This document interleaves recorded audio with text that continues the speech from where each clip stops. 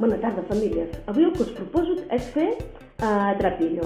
El trapillo és de tela reciclada. Es pot fer de dues maneres. Una que seria amb una fàbrica tèxtil, que seria aquestes bobines que tenen aquí, que és com un fil, però és de roba, o l'altra que és el que farem nosaltres, que el fabricarem amb uh, una camiseta que tinguem d'aquestes velles, que no utilitzem, uh, preferiblement de cotó de la nostra samarreta he retallat la part que és de sota de les mànigues. Vale? Aquesta part d'aquí, que és la del coll i la de sota les mànigues, no la necessitarem i l'apartarem. I ara sí que agafarem la nostra part, que és, quadra... el nostre rectangle, el doblegarem per la meitat perquè em vagi més bé a l'hora de tallar. És una samarreta gran, si és una samarreta petita no cal que la doblegueu. Llavors, el que farem serà eh, posar la nostra samarreta eh, fins a pujar-la per la meitat, però més o menys que ens quedin uns dos dits fins que no arribi dalt a la punta. Ens ha de quedar una separació més o menys a dos dits, d'acord? I aquesta punta d'aquí, que és el baix de la camisa, on hi ha la vora, no la necessitarem, serà la primera part que retallarem. Aquest tros el retallarem i l'apartarem. Ara sí, ja comencem a tenir la nostra samarreta i el que farem serà retallar d'aquí fins a la punta aquesta que hem dit que no arribava fins a dalt de tot, tot de línies d'uns 2 centímetres aproximadament. Uh, podem fer-lo servir un regle i podem marcar els 2 centímetres. Així que jo més o menys, aproximadament, eh? Dos, potser més, potser menys.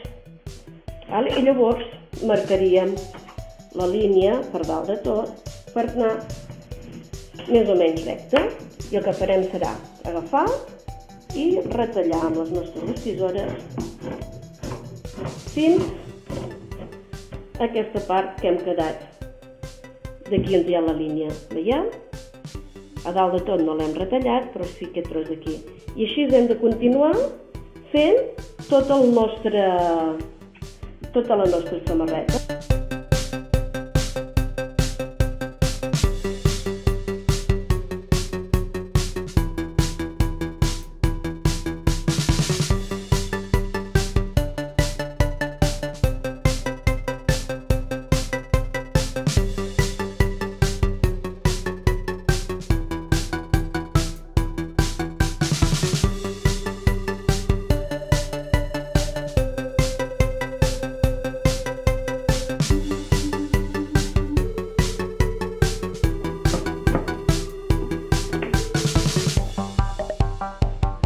Ara ja la tenim tota tallada i ens ha de quedar com una espècie de cortina. Si l'estiréssim, veieu, ens queda una espècie de cortina. Ara el que hem de fer és que hem de fer la nostra bobina de, de fil, del trapillo. Llavors el que farem serà, agafarem per aquí, on hi ha aquí que no hem tallat, veieu? Això queda així recte, vale? i per poder fer la nostra, el nostre sol fil, el que farem serà primer, serà les tisores, fer un tall, mireu, de, del primer, del que primer que, que tenim en aquest costat, fins aquí a la punta del, del nostre fil. Aquest serà el nostre principi del nostre fil del trapello, veieu? Ara, un cop ja tinguem això, el que hem de fer és retallar en, en, en horitzontal. O sigui que ara hem de, d'aquest fil que hi ha aquí, anirà, es retallarem en aquest fil que hi ha aquí, i així anirem fent en, en zigazaga tot el, el nostre, tota la nostra camiseta. Llavors ara farem aquest tall del primer, molta cura, el deixarem. Farem el següent, i així fins a arribar a baix de tot. D'aquí, aquí dalt,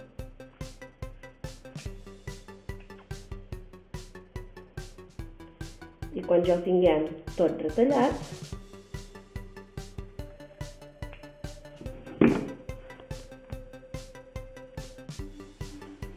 un cop ja ho tenim tot retallat, ara es quedarà, veieu, una fil o una tira que serà molt llarga. Llavors això es va estirant, perquè el ser cotó es va estirant, i ara el que hem de fer doncs, és desembolicar i fer la nostra bobina de trapillo. Ara amb la bobina de trapillo que hem fet, el que he fet és tallar un tall de, del fil, del trapillo, val? més o menys a una distància de que és els braços oberts, vale? el doblegaré per la meitat i el que faré serà posar-lo en un lloc perquè que se subjecti, vale? perquè pugui aguantar. Jo tinc en aquest cas una taula amb una fusta, deixarem una mica de la part aquesta d'aquí dalt sense eh, que s'enganxi per aquí dalt, val? i llavors amb una altra pinça la posarem aquesta part d'aquí baix també perquè no se'ns mogui. Veus? Ja tindríem en així eh, posat, us ho posaré d'aquesta part d'aquí perquè no, no es mogui aquests dos fils d'aquí. Llavors el que necessitarem és una mica més de fil del que ja hem tallat, del trapillo, una mica més llarg, i penseu que el trapillo, a mesura que vas estirant, es va allargant. D'acord? Llavors fem la meitat, més o menys, aquest trapillo, i d'aquesta meitat el passarem per aquí sota d'aquests dos fils i més o menys per la meitat el posarem aquí dalt. Ara, el punt de macramé es consisteix en dos, eh, fent un 4 i una P. Començarem pel 4.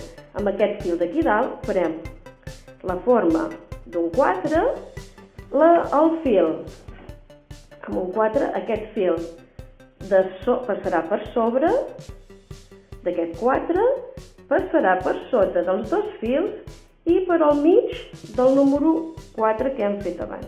I estirarem. I apretarem fins aquí dalt de tot. Ara farem el mateix, però en lloc de fer un 4 que hem fet aquí, farem com si fos una P.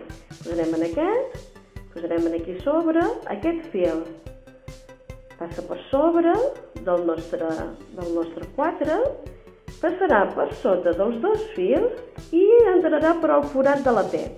I estirarem. I aquest és el nostre punt de macramé que es diu punt pla i seria fer això fins al final de tot.